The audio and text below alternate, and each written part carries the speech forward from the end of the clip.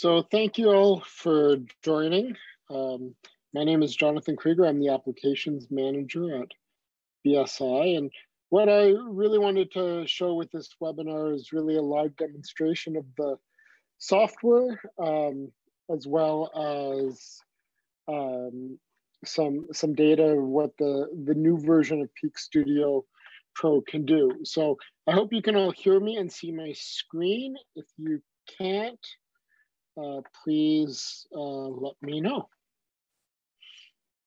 And so as an outline to this talk, I want to provide a, uh, an overview of what types of analysis can be performed in, in Peaks Xpro, um, show some of the new features, um, as well as some tips and common um, FAQs that the support team often receives that may be helpful for you um, going forward. And to give you a demonstration of, of various data that can be um, done and, and where you'll find certain features within um, the studio. And so, as I mentioned in the webinar last week, if you attended, um, we're a large part of the differences of, of previous versions of peaks and, and new versions of peaks are what we've done is we've essentially um, harmonized both our deployments of Peaks Studio and Peaks Online. And so we're now using um, our new algorithm can be deployed in both the studio format as well as the online format, and you'll get very, very similar results. And so um, next week we'll be showcasing um, the online version um, of the of the software. Um, but as I said, the algorithm behind it is now the same, and results should be are very very similar between them.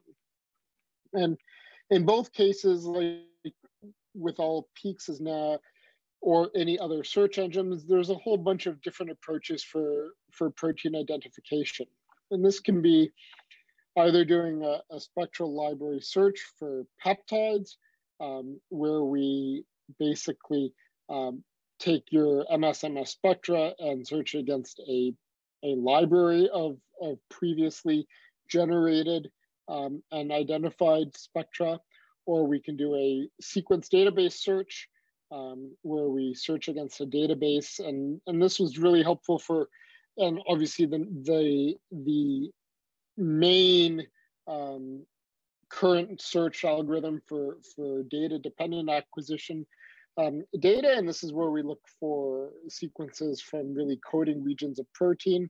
Um, and where Peaks really excels in is also in the de novo sequencing. And so our database search is de novo assisted, but what that also means is we have all the de novo sequences um, that don't match anything in a protein database that can be used um, to identify peptides um, that are either not in the database or not from a coding region or have variants or splicing or um, various unexpected post-translational modifications. And so Peaks Studio is really designed to be this complete solution for your proteomic analysis. And this really includes things like um, de novo sequencing and your traditional database search for both data dependent acquisition data as well as data independent acquisition data. Our library search is, can be used with DIA data um, and, and DDA data library search is in development and hopefully will be out in, in the near future. Um, and then of course, um, important to, to sort of any biological or any other chemical experiment is really quantification. And so um, both DDA and DIA allow for label-free quantification um, as well as labeled quantification, although um, with DIA, that's not really a, a popular choice. Um, but certainly for DDA um, data, iTRAQ, TMT, SILAC, all of those have been drastically improved in this version of Peaks Studio um, as well as the label-free quantification. And I hope to show some of that to you in the demonstration. Um, and then the other thing we've, we've put in is a lot of work on the ion mobility integration. Um, and I touched on this in the, the webinar last week as well, but we've really put a lot of effort into um, using the, the fourth dimension, whether that be um, Tim, from timsTOF data or from FAIMS or, or Waters um, ion mobility data in terms of, of feature detection. And I'll touch on that on the next slide as well. And so, as I mentioned, and most of this audience probably knows, PEAKS is feature-based. And what does that mean? Well, it means that when we import the data into Studio or into PEAKS Online, what we're really looking for, the software is looking for, is this isotopic pattern of peptides. And so we're really looking at the distribution of the carbon um, across M over Z at particular retention time to identify where peptides and where um, features are coming off in the run. And one of the things that we've spent a lot of time doing in this version of Studio is to improve this feature detection. And so that means really um, doing a better job of looking for these overlapping features that may, um, may be coming off in your data, um, especially for more complex data sets. And that being said, integrating this feature detection into a fourth dimension when ion mobility data is being presented. And so what you can see here on the right side is the um, distribution or the, or the feature detection at the top of the ion mobility dimension over the M over Z, and that same feature in the retention time dimension um, as well as just the, the precursor intensity, overall intensity of the, of the monoisotopic peak. And so what does this allow us to do? Well, it allows us to dig a bit deeper into the sample because, because of this improved feature detection, especially with overlapping features, what we're able to do is, is know, or the software is able to know that there are multiple features coming off. And so in particular cases where we have overlapping features, regardless of, of intensity, um, these overlapping features are often not going to be separated out or filtered out by the quadrupole. And so they're going to both end up in the same MS2 spectra. And so when we know that these features can be detected, when we go to that particular MS2 spectra, we're able to identify both the higher intensity ion series, um, as shown here, which is, corresponds to the the red feature or the more abundant feature, um, as well as the lower um, intensity ion series um, in the same MS2 scan. And so these, you know, features allow us to both do more accurate label-free quantification um, on these peptides as we're able to separate out these, these peaks, but also um, obviously lead to more identifications if we can um, sequence both of these um, spectra. And so what's new in the new version of Studio? Well, as I mentioned, we've really put a lot of effort into harmonizing the, the two deployments. And so regardless of which one you use, um, the functionality should be the same in both. Um, and this includes both uh, de novo sequencing, database searches, library searches, um, PTM and Spider, um, as well as, as label-free quantification and labeled quantification techniques. And so what you would expect to see is consistent results across those platforms. Specifically to XPro, we've put in um, full support for ion mobility. Um, and so this includes timsTOF, FAIMS, and HDMSE data. And we will have webinars later discussing these um, in more depth, but I will show you some timsTOF and, and FAIMS data today. We've really improved the label-free quantification and the match between run algorithm um, for identification-based quantification.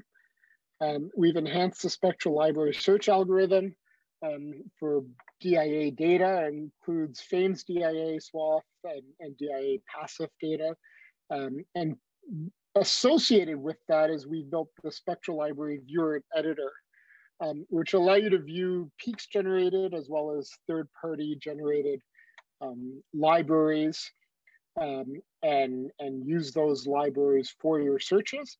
And then, as I mentioned before, because of the, of the improved feature detection, we really have improved the SILAC and label free um, quantification, including these missing value imputations or match between runs, if you will. And so with that, I'm going to share um, some data that I have.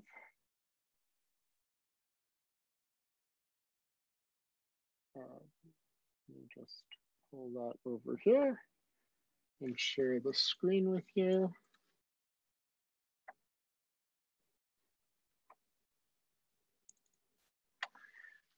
And so I'm actually going to try and share the entire desktop with you. So you should be able to see my desktop with the PowerPoint as well as uh, peaks. And if you can't, please do let me know. And so one of the first demonstrations I wanted to show is, is timsTOF data that was generated uh, from Jürgen Cox's lab and published. Um, and so this data is essentially a, a standardized ground truth data set, if you will. And what this data is, is essentially um, three biological replicates of two samples. And these samples contain um, different amounts of human yeast and E. coli protein spiked in. Um, and so that in order between them, we should observe a, an expected ratio. And so we really use this data set as a good benchmarking tool um, to show both DIA and DDA.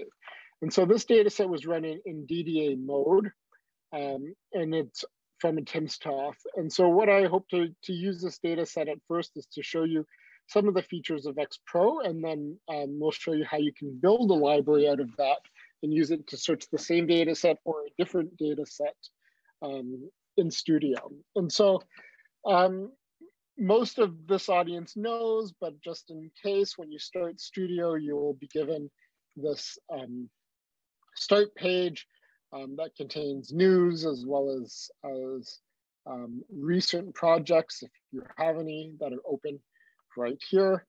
And, and you have this various tools at the top that to try and simplify things. And so obviously these projects wouldn't be here and when you open uh, Peaks for the first time or, or from a fresh um, install, and then the other thing I did want to point out to you is many people have new versions on top of old versions on their computer. Um, so to ensure that you're using the latest version, either um, we recommend that you, you actually just launch that directly from the folder.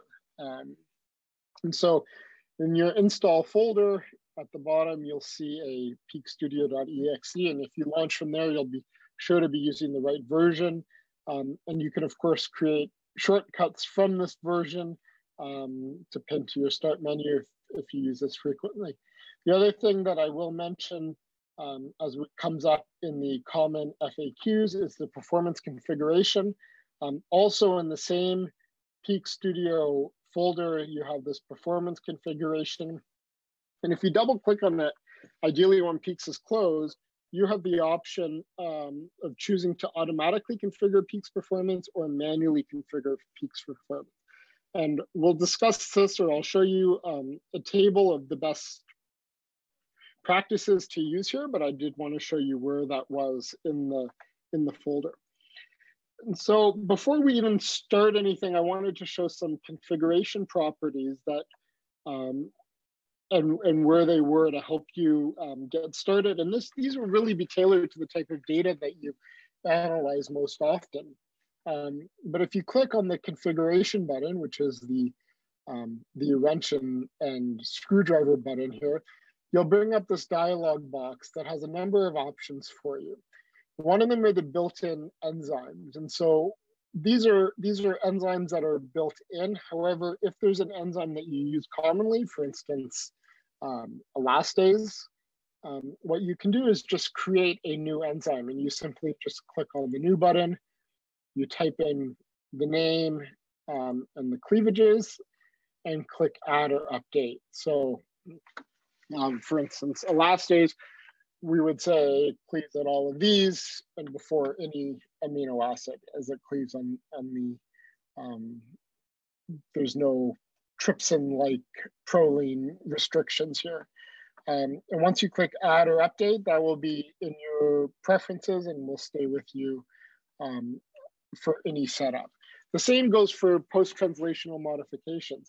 While you can set this up in your screen, if there's in your search parameters, if you if there's post-translational modifications you use often or customized, um, you can very simply click on, on customize new post-translational modification. So, so this is really important if you're doing cross-linking or using uh, PTMs that are not necessarily standard to the Unimod um, database. And here you can just give it a name, type in the monoisotopic mass, and, and define which residues can be modified.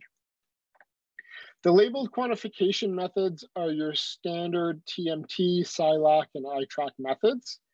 Um, and these you'll most likely set up um, or modify as an, as an experimental dependent um, uh, label free. But if you are, say, for instance, doing a lot of TMT nine plexes instead of 10 plexes, um, it's very easy to take that, that quantification method, duplicate it uh, by clicking the duplicate method and then edit it to whatever you'd like. So if we're doing nine plexes often, we can call it a TMT nine plex and we can pull out whichever label we are not using. So say 126 and save it. And that will now become a standard um, quantification module um, when you set up your label-free quantification. Um, in the label-free method, you now have two choices. One is identification-directed label-free quantification, and one is feature-based label-free quantification. With identification-directed label-free quantification, what we're doing is we're saying to take all the identified LCMS features and perform label-free quantification on them. So as long as you have one identification in one of your runs, you will have um, an ID and match between runs will take place. If there are no identifications, then obviously we're not going to. If there are, if you'd like to do label-free quantification on all the detected features, um, you can switch this to feature-based quantification. And this will essentially do all the label-free quantification and retention time alignment, et cetera, um, on anything that has a feature. So if it just has a de novo um, only peptide, for instance, we'll still be able to quantify that. And so it's really up to you. The feature-based is more um, computationally intensive and requires more um, resources and time to do, whereas the identification um, is a quicker um, tool. Um, in the configuration, you also have database and, and spectral library. Um, so database, you can um, certainly configure here or on the fly. Um, same with spectral library, and I'll show you how to do this on the fly. Um, and instruments, um, probably, I think we've got 95% of the mass spec types in here, so you're probably okay to leave those as the default. The other thing you can configure is preferences pane. In the preferences pane, you'll see different um, options, like where your default files are. And so this just saves you a bit of time while you're setting up your experiments. Um, you can also change things like your display options. Um, and this includes things like heat maps and things like that. So a, a, lot of journals are switching to red, blue, white heat maps, for instance. Um, you can simply click on, on the colors and pick your new colors and heat maps will um, apply um, with these new colors. If you've already run an analysis, you can change it and then hit apply on your summary page um, and it will update with the new colors as well. This is where you'll also find um, display options to show decoy hits and show contaminants um, if you include a contaminant database in your search. Uh, more so in here is, is various, um, and I won't get into them, but it's various options depending on, on the data that you're using, um, as well as in Chorus search settings, which I don't think a lot of people are using in Chorus, but um, if you are and you have trouble setting that up, you can certainly be in touch with the support team and we'll be happy to, to help. Um, so that being said, um, briefly to start a new project, um, there are a few things I wanted to highlight in here, but essentially you can click on the project wizard page, um, give it a name and select wherever you'd like to, to save that project. Um, and then you can add your data. And so to add data, you simply click on this button. You can navigate to where your data is being stored. So for this data here to demonstrate. Um, and so these are just two individual timsTOF files, um, which can be loaded in in the .d. Raw files can be loaded in as, as .raw. Um, and you click open and it pulls it into this list. And from this list, we have to pull it into the project. And so this is where some questions have come up, but essentially what you want to do is pull in either technical or biological or different samples as separate samples. The only time you want to add multiple files to the same sample is if they're some sort of fractionation experiment. So if you're doing an offline fractionation or a gel-based fractionation, um, then you would want to put those in the same sample. Um, otherwise, biological replicates, technical replicates, different samples, keep them as separate samples, and they can be grouped later on in label-free quantification step.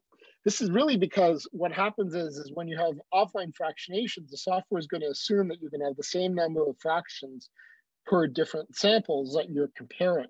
And so we'll actually try to compare those fractions to each other. And so would not be suitable for technical or, or biological replicates. Um, and so I'm just going to pull these in um, to move forward, but we won't actually run this, but these are basically saying sample one and sample two. I'm giving it an enzyme name. Uh, so you can specify this here or you can specify it later. I typically specify it here. These are trypsin and these are timsTOF files. Um, so I will specify timsTOF um, with CID fragmentation. And most importantly is telling the software what type of acquisition this is, whether it's DDA or DIA data. Once you've selected, if it's all the same, you can simply click copy to whole project and it will copy to the rest of the project for you. Um, but this is an opportunity if you are doing things with multiple enzymes that you could specify um, a different enzyme, um, for instance, for this sample. And so your next step is to do a workflow selection. And so here you have two choices.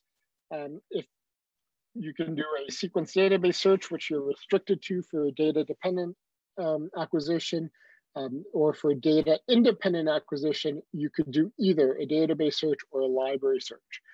For data independent acquisition, the library search is your traditional spectral library search, which I will show you um, in a separate project, while your sequence database search is essentially your um, your direct DIA, um, where we will de novo sequence your DIA data um, and do a database search with it. So um, once you select one, you're given the option to refine your data. And so merge scans is something that you will likely not use unless you're using a very old LTQ type of, of instrument um, where you need to increase or merge scans to increase intensity. Um, correct precursor for DDA is something we recommend. And this is also where you would associate features with Chimera scan. And so this is basically where we're telling the software to look for those overlapping features and, and certainly sequence them. And if you wanted to filter any features um, from your your raw data, you can certainly do that here, um, whether you wanted to specify charges or um, retention time, etc. Um, certainly we can do that here. And when you go to your database search, you'll set your parameters, and this is something I will show a chart on um, later as well, but basically, please don't just use the default error tolerances, please use error tolerances that are specific to your data acquisition type and mass spectrometer type. Um, so for a timsTOF, for instance, we'd use 20 and 0.03. For a a Lumos in Orbi Orbi mode, we'd use 10 in 0.02. For a Lumos or other tribrid in um, in FTIT mode, we'd use 10 in 0.6. And so it really does play an important role um, and knowing where your data is coming from um, makes a big difference, obviously, in, in which um, parameters you want to set here. Um, other than that, everything is pretty self-explanatory. Your enzyme, this will override any enzyme you've put in in the original setup. Um, so if you'd like to use what you've used in the original setup, you just leave specified by each sample. And your digest mode um, really explain, tells the software how specific you'd like us to follow the digestion rules. So specific means that you have to have a um, a enzyme specific cut at both ends of the peptide. Semi-specific means we'll allow it at only one end of the peptide. Unspecific means as unspecific, we can use it um, for at either end, um, basically taking any peptides. And no digestion is only to be used if you're using a peptide database and not a protein database. Um, that being said, your PTMs can be set here. Um, and this, this is what you'll find if you click on set, the Set PTM button. Um, the list of recent PTMs that you've most recently used will be here. Common and uncommon um, PTMs glycans are on their own separate tab as well as artificial um, PTMs. And so this includes your SILAC labels or your um, biotin type labels, some cross linkers, um, as well as your TMT, and anything customized will appear in this list. For variable PTMs, we suggest you only include three to four maximum variable PTMs that you expect to be in your sample. Um, and I can show you um, where you can search for more PTMs and, and how that works. Um, your database, you can select, if you've used it before, it will populate in this drop-down list. If you're using a new database, you can add it on the fly by clicking view. And then here in the path section, you can navigate to wherever that database is. So if we pick uh, this one, for instance, we can call it I usually just copy um, the name. And what we can then do is at the top, you have to tell the software the format of the database. So this is a UniProt database, and we suggest, really suggest you validate it. And so validation is generally pretty quick, as you can see. It gives you a total number of proteins in that database and shows you that the data is in fact um, within the database is parsed correctly as you would expect. And if it's not, this is a good opportunity to um, reselect the type of, of, database it is or check your parsing. And we'll also tell you what's invalid. So it will pull out um, proteins that are extremely long, greater than a thousand um, amino acids that are probably not true proteins. It will also pull out um, things that contain non um, amino acid errors, so letters in your sequences that are not um, amino acid letters, for instance. Um, and then once you save this database, it will essentially populate down this list. Furthermore, if you're using something large, like a, the complete SPRET, you can pull in these taxon ID and tax DMP files, which are downloadable right from here. And what this will allow you to do is actually specify a species instead of using the entire database. And you can use multiple species. So in this particular um, data set that I have, it's human yeast and E. coli. So you can just click on control and you can um, select multiple um, species if you want. And once you hit OK, they'll both be listed here. If you choose a contaminant database like CRAP, um, again, it's the same procedure. You can click view, you can pull it in, and it will populate this list, and you can um, use that as a, as a contaminant database. Now, at the general options, you'll always want to do FDR. And this is where you have your options to run Peaks, PTM, and Spider right from the workflow. You can certainly do it later, but if you know you're going to want to run it, you can also run it from the workflow. Peaks PTM is, is interesting. So the way Peaks PTM works, and if you click on advanced settings, it's basically going to take every de novo sequence that doesn't match to your database and see what happens if we put in a specified PTM, does it now match? So it's somewhat like an open search, but this is really where you're gonna wanna put in, if you have a lot of variable modifications you're interested in, because what that will do is it really limits the search space that you're looking at by only looking at high quality de novos that didn't match as opposed to every single potential um, spectra. And so if you click on advanced settings, you can you have the choice of searching with the 312 built in or your own. Um, you can set up. And the 312 built in um, only include things in the common and the uncommon list. They don't include the glycans or the artificials. So certainly if you're looking for, for glycosylation, um, you know, sometimes I'll often look for an N-link glycosylation. So I'll search by by residue site, and then I'll take everything with an N um, and, and add that to the variable list um, and go from here. And so this is a, a much faster way of, of doing a, a PTM search um, as opposed to putting everything in the main search. Spider is a homology search. It's going to look for single site variants based on homology, again, with only those um, de novo um, that pass a 15% threshold. Um, and then you can move on to quantification. Um, here again on the quantification workflow, you have a couple of choices, label free, um, iTRAQ TMT, and SILAC. Your label free, you're simply specifying your mass error tolerance. If it is ion mobility data, your ion mobility tolerance. Um, and new to Peaks Pro is you no longer have to specify retention time. Shift tolerance, we can auto detect this for you by clicking this button.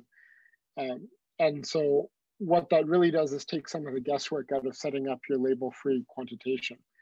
Um, so you can set that up, and this is where you will want to set up your grouping. So if you have multiple samples that are different groups, you can put them in together. And if you don't have, if you have samples that are um, each individually samples, you can put those in together. And so I'll show you that in the data set. And so the first data set I wanted to show you, as I said, is, is from this paper um, from Jürgen Cox's lab. And so it's timsTOF data where there are six samples and we've run all six separately. Um, and the top three correspond to sample A and the bottom three correspond to sample B. And so when we look at just the database search, um, when you open up your, your, your search results, you get a summary page. And so there are a couple things that are new in Xpro that you'll see on the summary page one. Um, we did change this in X Plus, but not many people know. We're now using peptide FDR in Studio. And so this is controllable by clicking this FDR button, and you can um, pick whatever level of, of FDR you would like. Furthermore, we now allow you to filter on protein FDR. Um, you can click protein and you can select the percentage. You're not limited in any drop-down list in, in Studio that you see up here. You're not limited to what's in the drop-down list. If you'd like to use something different, you can certainly type that in and the software will have no problem um, using that value. Except that I've remotely desktoped in and seem to have caused to not like me.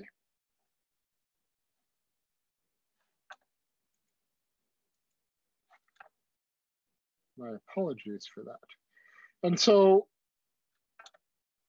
I'm going to close this remote desktop and then try to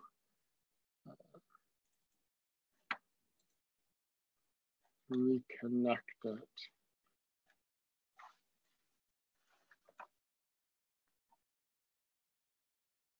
The joys of COVID. Okay. Let's try reconnecting. Reopen peaks.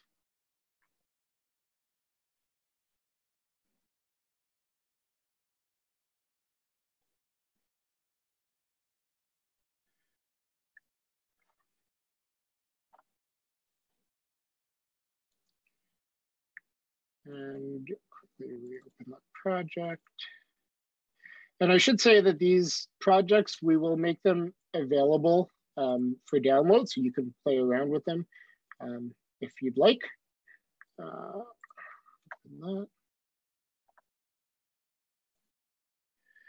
and so when we did um,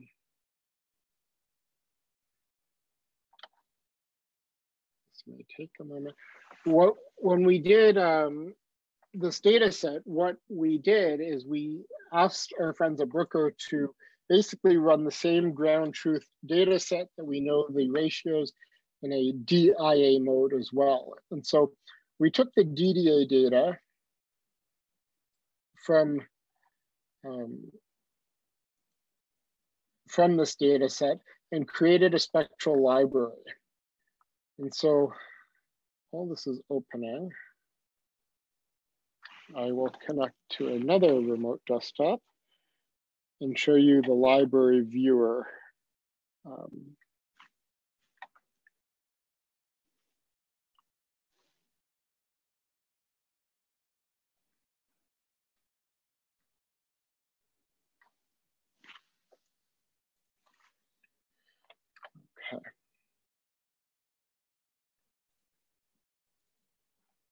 Again, my apologies for that.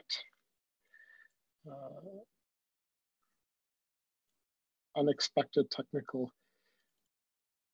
difficulties.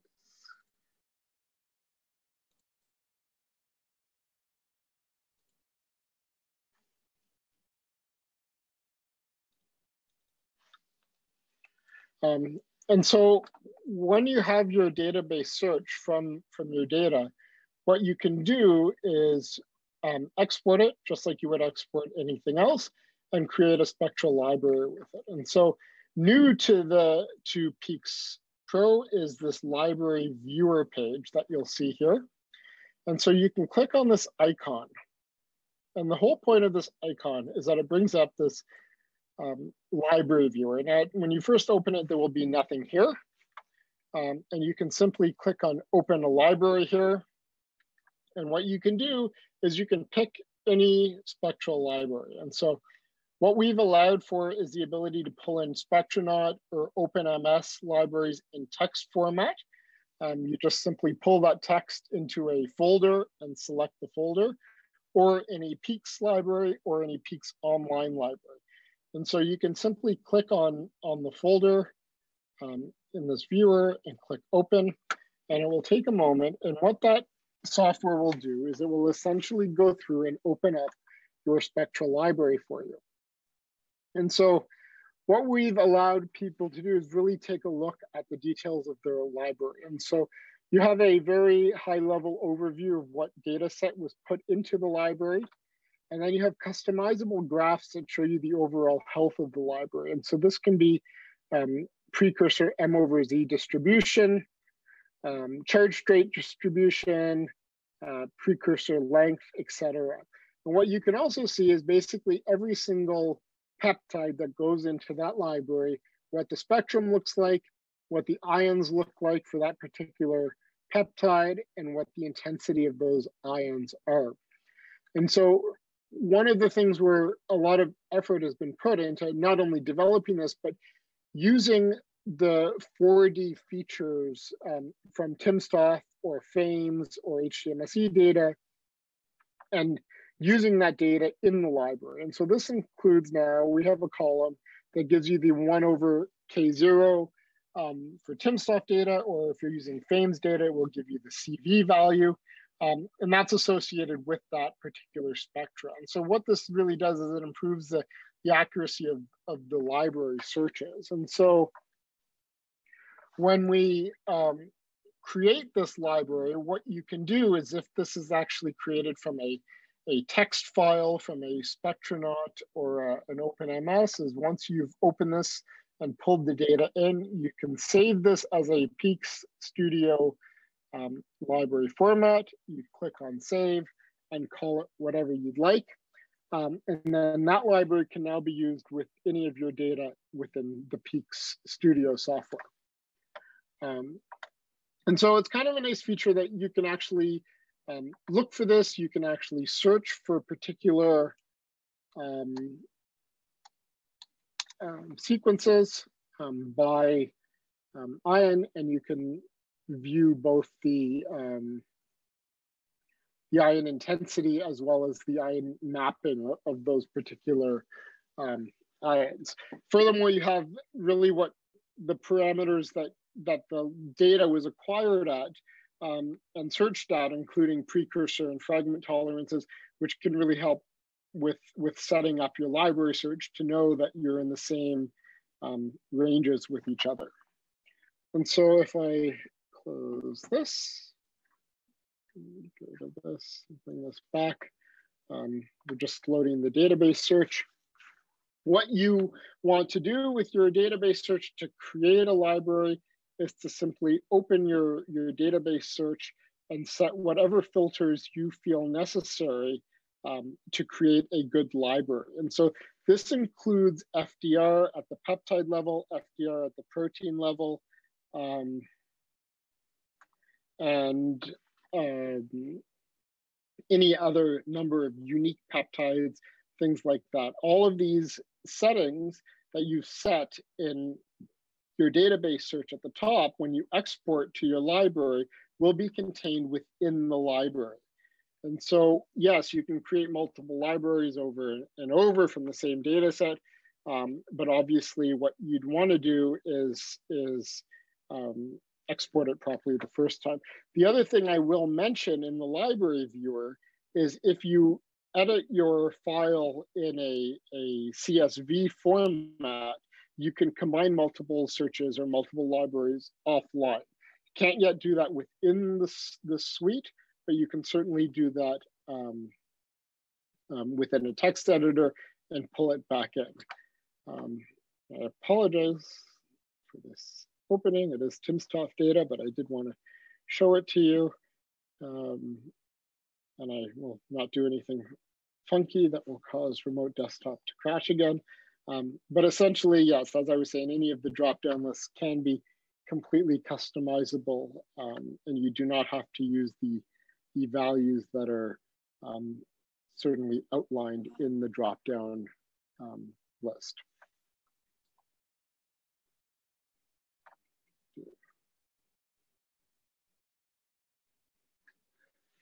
So now it's being said what I what I suggested before. Um, and so what you'll find with Studio is um, you'll find a table summary with the total um, MS1s and, and, and statistics from all your data sets, as well as um, this sample overlap chart.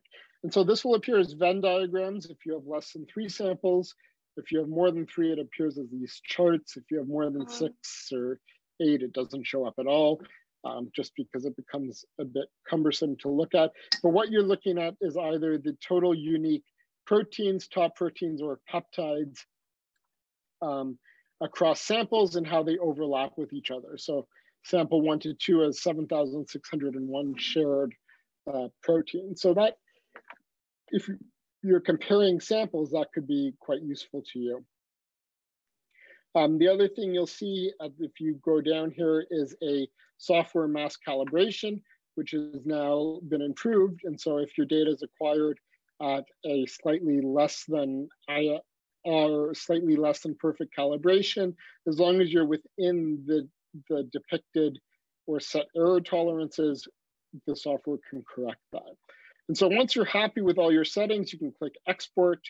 You can click either HTML reports or your CSV files. But if you want to create a spectral library, you click on the spectral library tab um, and you have your choice to do it for a Peaks library or if you're using another software, um, an OpenMS library downstream. What does the label-free quantification look like? That didn't crash, that's open still. So when we open that label-free quantification, um, you have a couple of, of settings. And one of the questions we always get is, I'm not seeing very many proteins or why not? Um, a lot of that comes down to filters. And so if we look at the protein filters, um, to start with, if you click on edit, um, you have a couple of choices. One is significance. And so if you click, if you, the default is actually 20. Um, if you want to see all your proteins, I suggest you drop this down to zero. Um, and same with fold change, the default when you open an LFQ is two. But if you want to see everything, I would suggest you drop that down to one. And so these are actually filters. When we look at significance, we're basically comparing, um, in this case in ANOVA, looking for statistically significant proteins between sample group A and sample group B.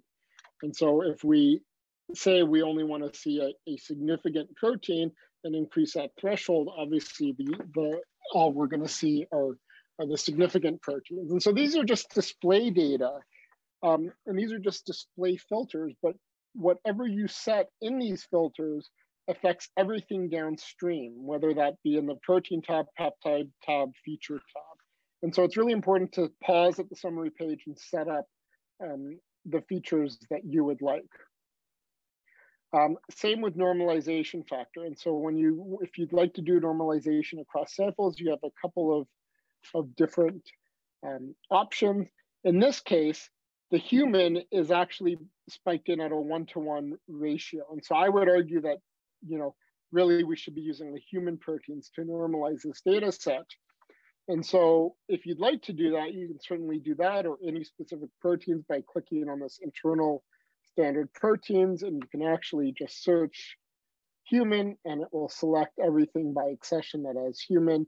And if you right click, you can actually mark all of these and what will happen is it will use all the human proteins to normalize.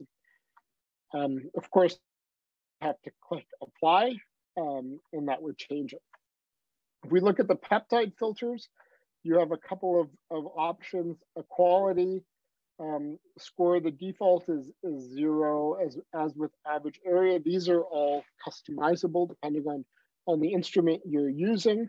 Um, but two things to point out are, are, peptide ID count. So this is basically the number of, of peptide identifications that have to be seen and then have at least X number of confident samples. And so what we're saying here is we're saying that this that a peptide has to be confident in at least one of the six samples to be considered, um, or one of the samples per group. If you'd like to really increase that stringency, you can pop that up to three and say, I want to see this confidence in, all three um, replicates. So if you're doing, um, you know, if you really only want to see things that are consistently identified in, in all three of your replicates, um, you would change that.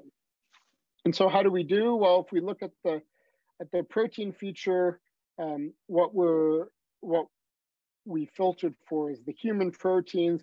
And you can see from the volcano plot that these all hover around one to one. If we went and actually looked for things that are different, like the yeast, we can type in yeast and we can filter only for the yeast proteins. And these are all coming up at a, at a one to two ratio as we would expect. This volcano plot is actually um, interactive. So if you clicked on any of these um, points, it will, or double click on any of these points, it will actually take you to that particular protein in the list. And then you can actually look at more detail about those particular proteins. And so what does this include? Well, um, if you look at your sample groupings or hover over, you'll actually see the ratios um, for individual samples or at the group level if we've combined these groups together. You can also look at the peptides that make up that protein. So we will only use um, unique peptides for label-free quantification, and we use a top three method. And if you wanted to actually look into more detail about these, you can double click on that peptide and view the actual extracted ion chromatogram from the samples like so. Um, and then you could also look at the features, which is probably where you want to look um, if you're trying to compare. Um, and so the, the feature is actually showing you the extracted feature, whether you'd like it in 2D or 3D. And this graph can be manipulated or increased by holding control um, and using your scroll bar to increase the zoom um, in the features. the purple area shows you where those have been extracted from. And just like in the LCMS view, which I'm sure you know how to use, um, but if not, we can certainly show you how to do that. You can um, decrease or increase the intensity thresholds um, to show the areas. The other thing you can click on is retention time alignment, and what you'll see is where this peak was picked um, across all of your samples. Um, so briefly, what does this look like in a, a library search? Well, when we open a library, um, if you're opening a project that hasn't been opened before and it's a library, what the software will ask you for is to help point it to where that library is. So in this case, it's this library, or you can proceed without the library. And when you click OK, it'll basically pull in the, the data with that, that library format. So what we've done here is basically replicated the exact same six samples um, but run them on a timsTOF and data independent mode. And so if I flip back here, and so showing you the library viewer I've done. So we've created the library from this data set. Um, and then what I can show you is really how to set up this library search. And so when we set up a, a library search with data independent data, what you can do is exactly the same thing that you've done before. You start a new project. Um, you pull in your data files from wherever they're located.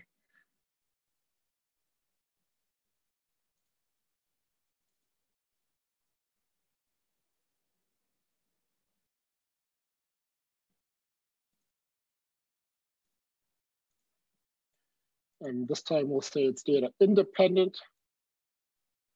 When you do your, your workflow,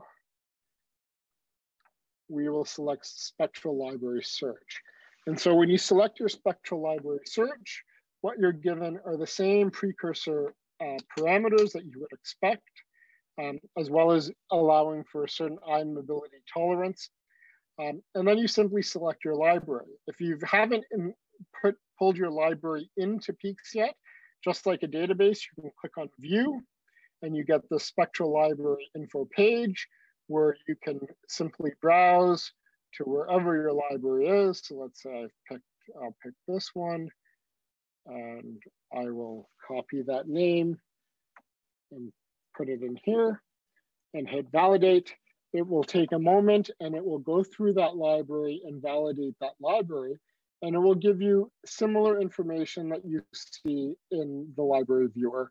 Um, and this, of course, can be um, chosen however you'd like, but the, either the meta info or the precursor distribution or anything else, and you can hit save, and this will now populate this drop-down list. So if we go back to this database, the other thing we can do if you wanted to filter your library to only search for certain things this is a dynamic process. So let's say we only wanted things that are um, three to six. Um, as soon as you click elsewhere, it will update. And so now what we're saying is we've now limited our library to only 19% of it. Um, obviously the majority of things in this library are doubly charged. Um, and so, but we will only do that search with that 19%. And so that can be helpful depending on, on your application. And then you will want to include a reference database if you want to associate this with proteins. And again, I would use whatever protein um, you would like, but the process remains the same. If you pulled that database in before, it will be in this list. And if not, um, it will be, you can add it in without any issues. And so what does the data look like when you, um, when you do a database or a library search? You no longer have de novos, um, because we're not doing de novo, um, but you do have um, any of your ion matches for any protein. And what you see if you click on the peptides is in fact um, all your peptide matches. So if you pick something um, where you have a lot of um, proteins or something that you you don't have a lot of, of matches, you get the same thing. You get a score mass, and, and various details about those particular peptides. And so what does it look like if you want a more detail on it? Well, again, just like in, in with a database search, you can double click and you can view both your, your library um, view as well as the query, which is what you, the data you've generated, um, as well as a match um, intensity to, to, your, to your data. And so again, this can be put through a standard label free by clicking on, on quantification and setting up your label free quantification in that way. And when you do that, um, what you get is a very, very similar result to what you would expect. Um, in, in this case, the data, um, we're using the same library, so we obviously expect a very good result.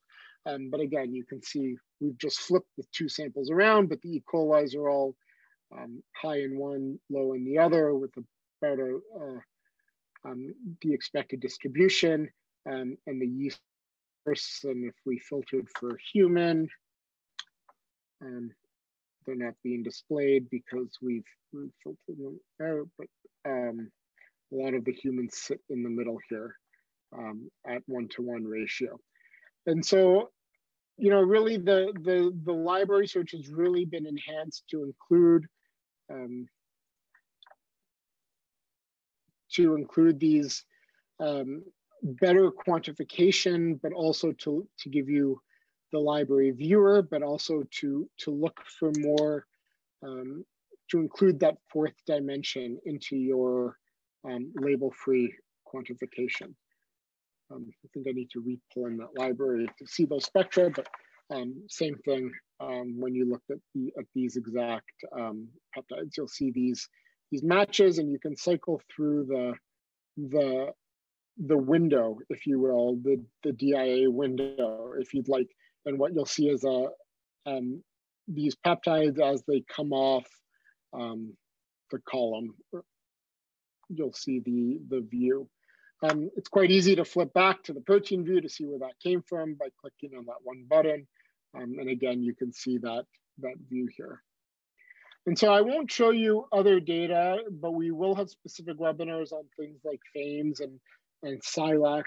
Um, but really the, the, the basics of, of those have all been um, pulled in into the webinar, into the, into the software so that the fourth dimension feature is really um, now being shown um, both in the LC IMS view, um, as well as in the feature detection, as well as in use in, in spectral libraries. And so one thing I will mention is how do we do FDR with spectral libraries?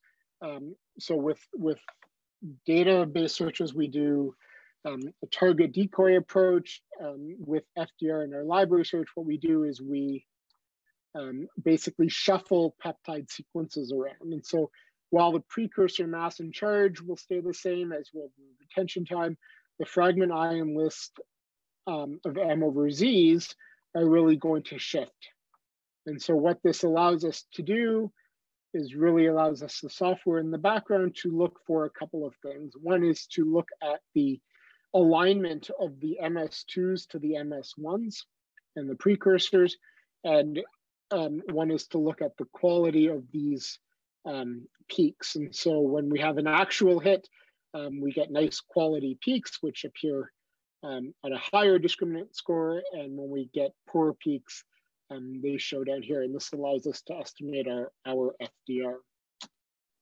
Um, I won't highlight FAIMS data or TMT data, although I planned on it, but in the interest of time, I won't uh, show that, but I will show some quick tips or FAQs that we've um, have a lot of, of requests for. So one of the things I showed was the performance configuration. And so um, really to optimize um, the various threads, we have the 16 thread or the 32 license version of Studio. Um, we To start all of these threads and maximize, you really need um, around 20 logical processors for the 16 node or 40 for the for the 32 thread workstation. Um, but if you don't have that many, you can certainly use less. What we suggest is to use 80% of the maximum threads you have. And so um, if you have, for instance, a max of, if your computer has 16 threads, we'd suggest 12 threads. And then the other thing we suggest is three gigabytes of allocated memory per thread. So if you're using 12 to use um, 3,600 megabytes. Um, we also suggest that you set your Windows settings to never sleep while using peaks um, because sleeping in the middle of a search can cause the search to shut down and, and you won't be able to restart from where you left off. Um, and then this is something that I mentioned earlier. It's really important to, to specify your parent and your fragment mass tolerances for the machine that you're using. Um, and this will really, you know, what you want to be as tight as possible because if you have the accuracy on the mass spec, why not use it? Um, the only time you really want to extend these is maybe if you see something like this, but perhaps your um, initial data is half cut off because it's outside of the window. Then you have reason to extend um, to a wider uh, mass tolerance error. But what we do find is people using, um, you know, the default or, or 0.6 or 0.5 tolerance errors for really high resolution Orbi-Orbi data or timsTOF data. And that's really affecting the results in a negative way because it reduces the um, the quality of the scoring and it also reduces the um, the identifications. Um, validate database I touched on earlier, but really important to do, to do that validate database. And just a few things we've seen of late. Please don't combine non-ion mobility data with ion mobility data, i.e. FAIMS and non-FAIMS together. Um, and don't combine DIA and DDA into the same project. Keep those as separate um, projects um, with your individual data type. And so that being said, if uh, I apologize for going over for a few minutes and the technical difficulties, but if you um, do have any questions, I'm happy to take them now, or you can um, always contact us at support at bioinfor.com. Um, or if you have to talk to your account manager, sales at bioinfor.com. Um, and we have um, yeah, and if you're able to um, attend any of the other webinars in our series, please do uh, feel free to register and um, attend. And I'm giving a couple of them as well as some of our other application scientists. Um, and they'll be more targeted um, on specific applications of the, of the software. isoLogical. So if anyone has questions, please feel free to use the chat or to unmute yourself. And if not, I really do appreciate uh, you taking the time to attend.